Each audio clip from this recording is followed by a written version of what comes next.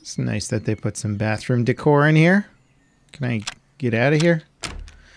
There we go. Nothing like a poop in the forest. Holy crap. I totally forgot there was bad guys. I don't see him anywhere. Hello? Was he even shooting at me? Oh, what the? I do not see this guy. Retreat. Or maybe. Oh, there he is. Got you, sucker. One guy is making an incredible looking survival shooter inspired by games like DayZ, Stalker, and Tarkov, and the new demo of his game just released. Road to Vostok is an upcoming survival FPS set in a post apocalyptic northeastern Europe. The person making it is ex military and has 10 years of game development experience, and that's probably the exact sort of resume you want for somebody making a hardcore tactical FPS. And checking out the new demo, it's clear that the game is also being made by somebody who knows how to achieve the look and feel of games like Tarkov dilapidated, abandoned buildings and campsites mixed with beautiful nature locations. Now, I wouldn't go so far as to compare it to some of the more ultra photorealistic Unreal projects that we're seeing recently, but in one one of the vlogs, the dev does discuss the visual stylings of the game and what visual elements or enhanced features that they're just not going for to improve the overall progress of production. And the whole game is being meticulously designed around actually being able to solo build the entire world. A really cool world that I really want to show you right after a quick word from today's sponsor. The latest update for Cyberpunk 2077 is nothing short of astounding. You can now enable ray tracing Overdrive mode, which is a sneak peek into the future of full ray tracing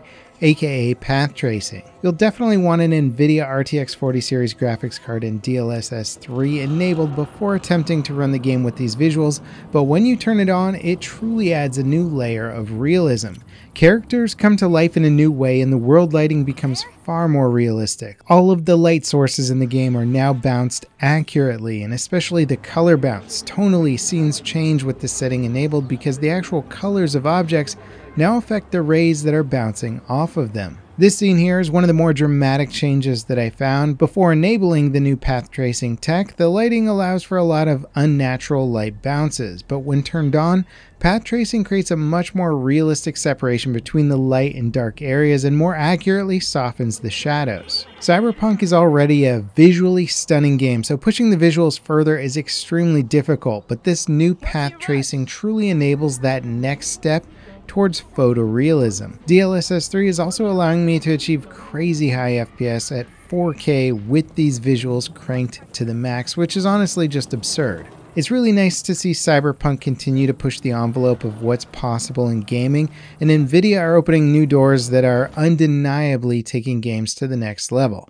This is definitely worth checking out for yourself, and it makes me want to do another playthrough just to experience the characters and world with new depth and detail.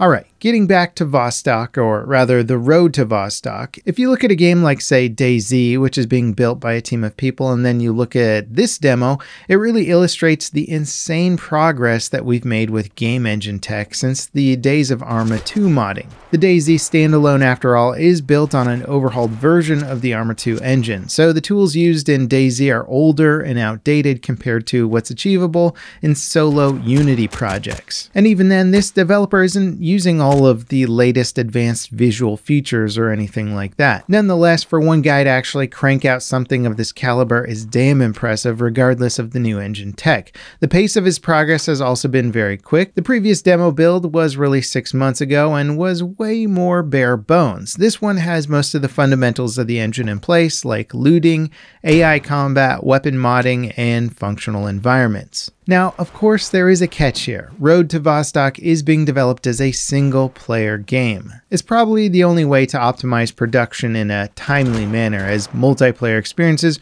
require a lot more problem solving and designing around. That said, games like Stalker, The Long Dark, and Subnautica proved to be wildly popular in the survival genre without the multiplayer features, so I certainly wouldn't write off a single player Tarkov style game at first glance. And personally, I think say, Stalker Anomaly, which is single player, is still an incredibly fun game to play as the world feels extremely real and the game is still extremely challenging. Plus, the dev is open to creating a co op experience once the base game is finished. He's currently interested in doing something that will show traces of other players, but nothing is concrete at the moment. And as it is, there's still plenty to check out with this updated demo, so let's dive into it. And right off the bat, when jumping into this, I think the thing that impressed me the most was the immersive environment. When you first load up the demo, it defaults to sort of a serene midday experience with nature sounds and general ambiance of a forest enveloping you. And you can actually change this pretty drastically with settings, but we'll look at those changes a little bit later in the video. At first, Vostok's atmosphere is calming. So calming, in fact, that for a while I forgot that there was actually enemy AI roaming around in the woods with me. Currently, the demo spawns three hostile AI in a random spot across the map, and every time you kill one, another one is added to take its place. And while this is a pretty simple system, it is enough to give you the impression of the game's overall combat and gunplay. There's a variety of weapons to pick from, like an MP5, multiple assault rifles, an SVD, a shotgun, and multiple sidearms. Similar to DayZ, you equip weapons by placing them in slots in your inventory system. You can also organize your loot in this system to maximize how much you can carry at once.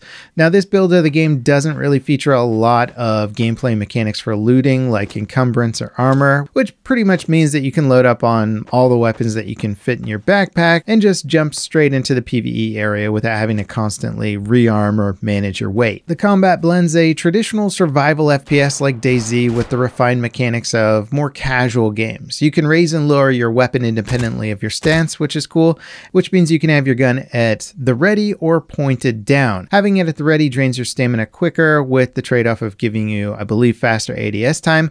And the stamina drain was pretty slow at the moment, but I'm guessing that's going to get tweaked significantly as the inventory and management system comes online more. I recently took a look at another FPS game called Ground Branch and it had a similar weapon stance system, but Vostok is simplified and kind of streamlined a bit more.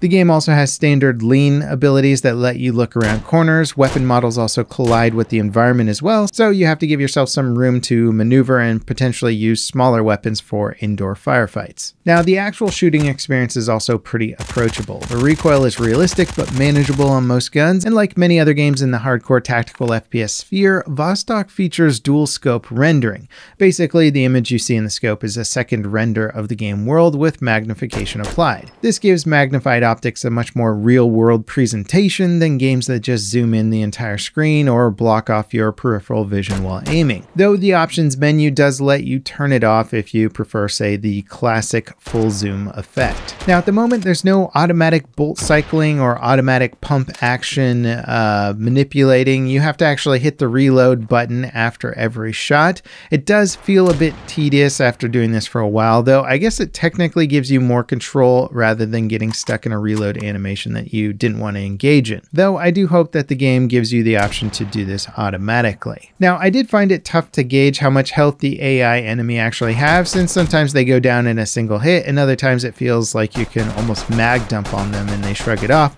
But I think that may have to do more with me actually missing my shots versus the game having some wonky hit detection or whatever. And when the enemies do go down, it's pretty satisfying. They have nice realistic ragdoll physics, so if you drop them next to a fallen tree, their body will slump up against it realistically. The weapon handling system is pretty easy to get used to, and you can even customize the attachments on your weapon by hitting the inspect key and cycling through the different attachments in your inventory. One interesting thing is that you can change the optic position on your gun with the top rails as well as the reticule brightness. You can do both outside of the weapon inspect system, which gives you a really easy way to see the impact of moving the sight closer or further away. It's a lot like Battlefield 2042's Plus system, but swapping attachments actually takes a few seconds per slot rather than instantaneous. And I really like the system as it gives you a bit more agency and realism over how your weapon performs. And adjusting stuff like optic brightness is a real thing that people need to do depending on the environment and weather. Now, as I mentioned earlier, Vostok's atmosphere is very immersive, but you can also tweak it with different times of day and weather conditions. And when I first realized that these options were available, I flicked on the winter season option and it was honestly transformative. The entire environment went from a serene forest that seemed brimming with wildlife to a desolate and isolated frozen landscape. The difference really is radical the first time you experience, and the fact that the engine can transform between these conditions so easily is impressive, and it means that one environment should allow for a ton of variation depending on when you visit it. Now, having recently experienced another tactical FPS Ground Branch's insane time of day customization system, Vostok feels like an actual bigger leap. Game engines are starting to really emphasize these seasonal technologies, and I would imagine that we're going to see more like this down the road. Now, there isn't too much more to the demo other than walking around, exploring houses, and shooting at the three AI that spawn in. It's really more of a demo to showcase the progress that's being made by this solo dev, and it's not designed to really hold your interest for the long term. Still, I think Road to Vostok is an incredibly impressive experience even in its current state. The fact that this game is being made by one person is something that simply wasn't possible with some of the older engine tech how far game engine tech has come recently is insane, and I can't wait to see where all of this stuff is heading. It's probably going to get even easier and easier. And of course, I don't want to just give the impression that all of this engine tech is doing the heavy lifting. Vostok is clearly a project in the hands of a competent developer who knows what he's doing. Even with today's advanced tools, you still need the knowledge to use them effectively. Now, of course, this being an early demo of the game is still missing a lot of features that one would expect from a final product not being able to see your legs when you look down, the AI is a bit derpy in general, and key binding options are missing, and of course, other things. But considering the pace of the progress, I expect the next demo to be even more impressive. Smartly, there isn't a release date for this game. The dev has laid out an impressive roadmap for progress, but isn't locking himself into strict timelines. Even with careful planning to optimize time spent in the development phase, there's always unknowns that can lead to slowdowns. I hope this game doesn't run into too many of those, as I'd like to play the the final version as soon as possible. What do you guys think? Will you be checking out Road to Vostok when it releases? Does a single player survival game interest you? Or are you more about the bigger multiplayer experiences? Let me know in the comments. And next up, check out this crazy new anti cheat technology that may just save online gaming.